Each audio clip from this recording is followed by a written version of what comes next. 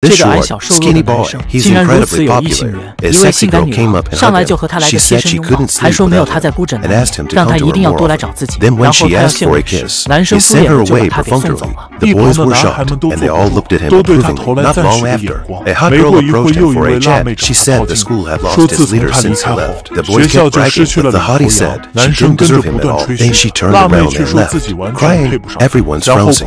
And that's not all. And then the third girl came on the scene.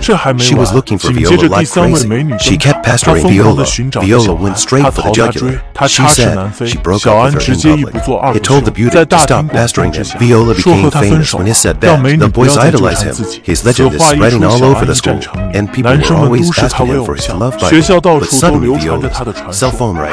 He explained that it was his ex-girlfriend's ringtone. But what people don't know is that Viola is a real girl.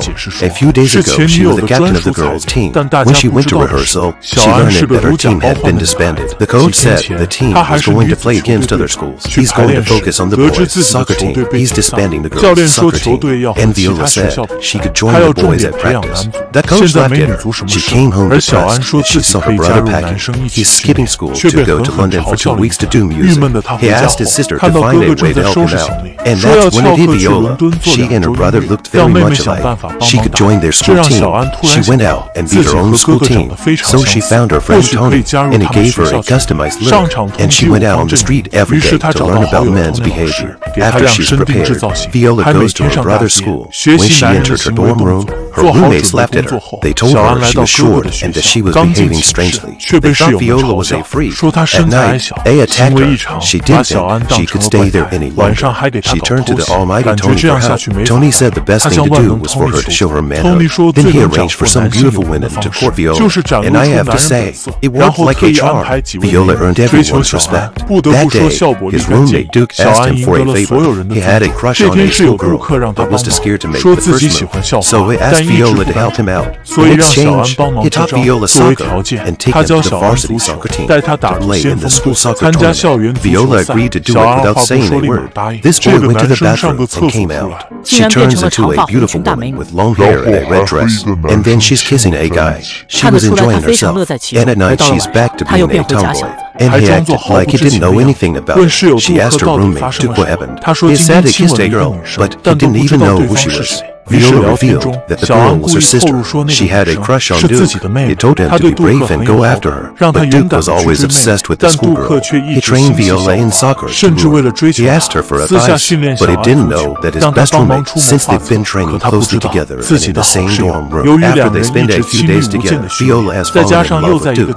That day at the gym, Viola was trying to convince him to go out with her sister, but then the schoolgirl barged in. She kept hitting on Duke. He was mesmerized by the beauty. He couldn't listen to anything Viola had to say anymore. So she went to the schoolgirl and complained. She said she didn't think much of them.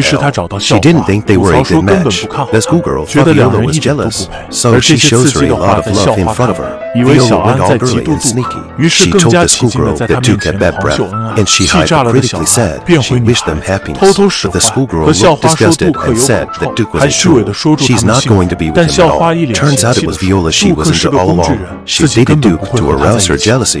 She wanted Viola to like her, and then she blew him a rainbow bar. Now it's a very subtle scenario. It was more than Viola could understand. As soon as the schoolgirl saw Viola the next day, the next day, as soon as the schoolgirl saw Viola, she ran right up to him and showed him what she was made of. When she left, Viola's brother was dumbfounded. He'd gotten a great deal for nothing, so he decided to go back to school the next day. This boy was suspected by everyone to be a girl. To prove his innocence, he took off his pants. The audience said it was so strange. She took another look after the drama. The game continues. Viola, who has always been an amazing player, who made a lot of mistakes in this game and couldn't catch up with the score. The coach sent him off.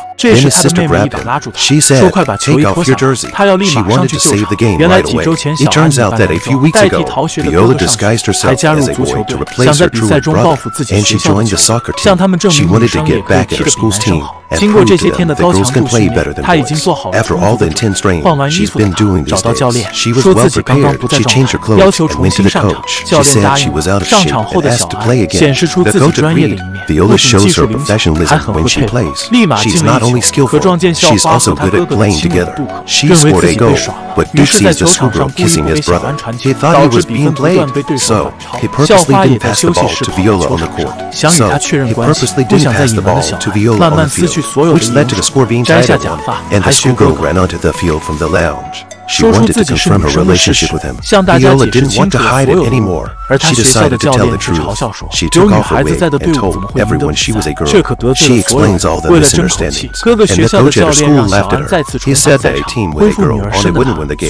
This offended everyone. In order to fight for her honor, the coaches put Viola back on the field again. She may look weak, but she's more powerful than any of the boys on the court. As sudden foul by her opponent, Viola has a chance to shoot a free throw.